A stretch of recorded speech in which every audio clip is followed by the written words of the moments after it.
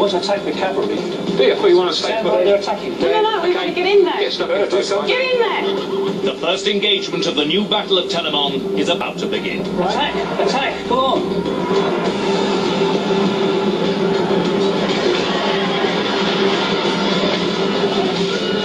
That's it. They're attacking. Right. Kick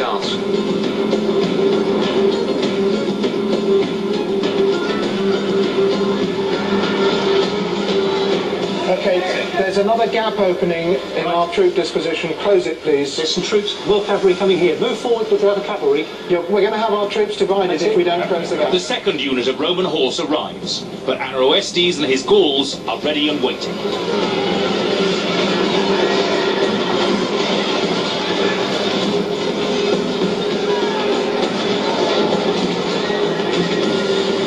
We have a battle going on here.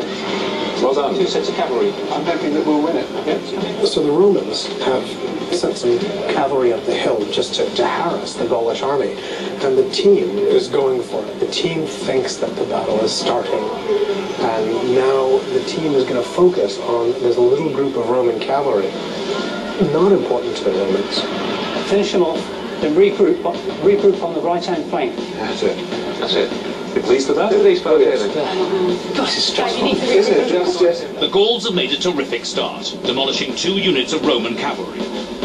But have the team fallen for a clever trick? Has the Roman consul Regulus provided just the smokescreen that his comrade Aemilius needs?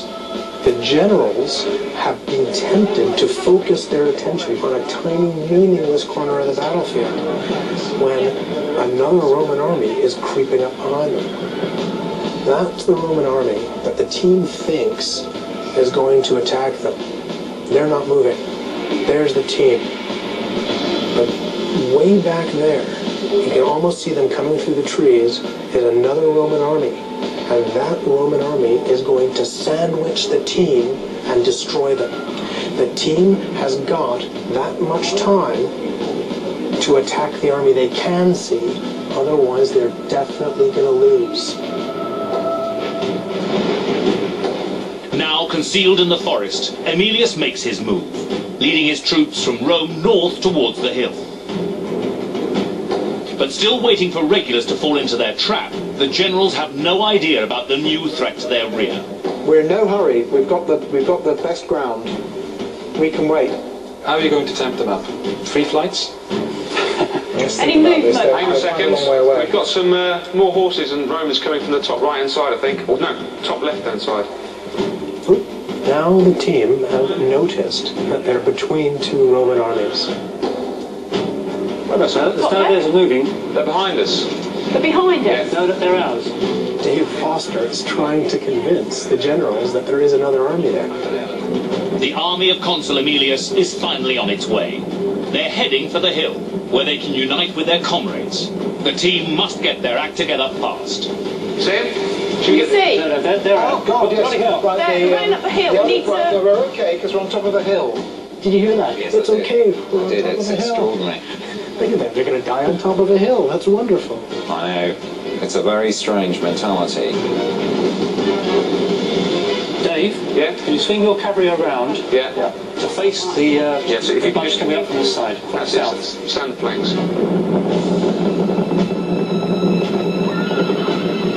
So you've got this surprise, you knew they were going to be somewhere, and they're coming at you from behind. How are you going to deal with this battle on two fronts? Well, we're, we're going to attack once they get a bit closer. We- We, do you think try we and defeat them. I think- I think we've got to let them get closer so we can wipe out one side before the other one And in the meantime, do you think They've already pretty much destroyed the Roman cavalry, so they've got some advantage over those Romans to the front of them, if only they would now grasp it and go for it. They need to move forward and attack a Roman army. They need to do it now.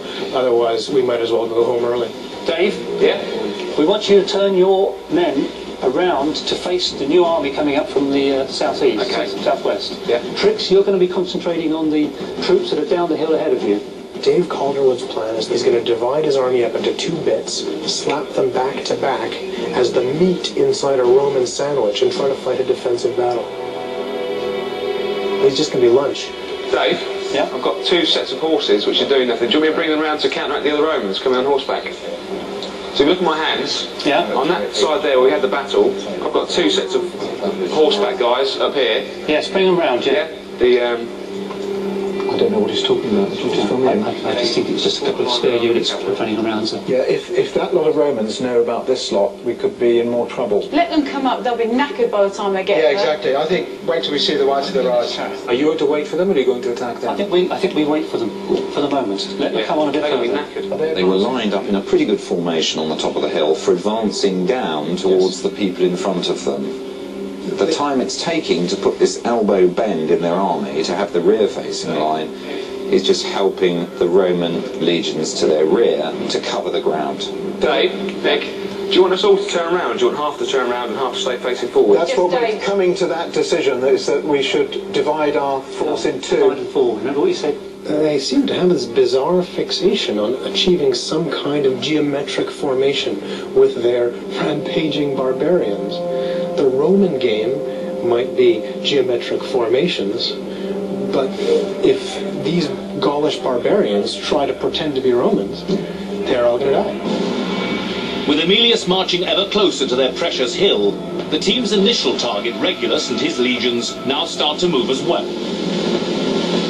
46,000 disciplined Roman troops threaten to surround the Gaulish tribes. The team must respond decisively and fast. Tricks, I think those are the Romans that are moving at the there, aren't they? No, The, the original bu- bunch. they're moving. I think we'll wait. Okay, guys, the original bunch of Romans are now starting to head towards Should the, just the stay same where we flank. They're all on I'm foot, not these clear. guys, You're, aren't you're, you're going to sit and wait for them rather than go and attack them, is that right? Well, because we hold the hill, when- and there's massive advantage in holding the hill.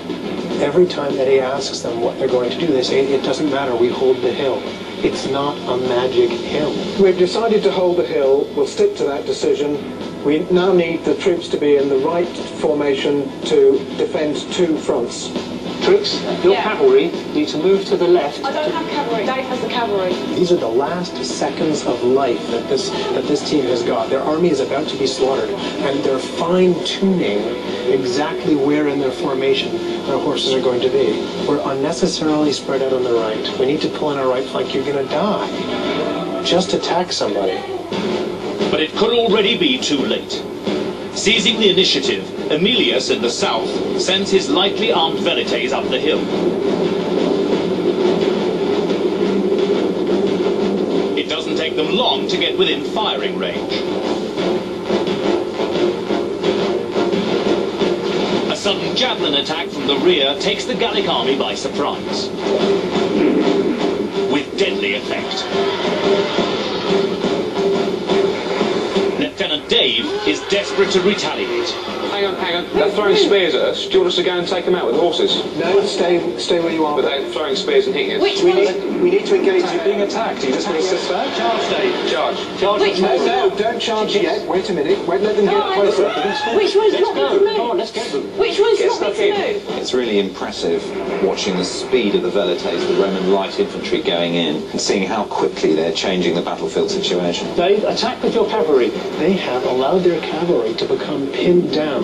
See, look at that. And they've already taken heavy losses in the cavalry. there. Look, you're being attacked. No, I think we wait till the last No, no, minute. no, no, no, no. This is the last minute. Let's Yes, get all right, attack.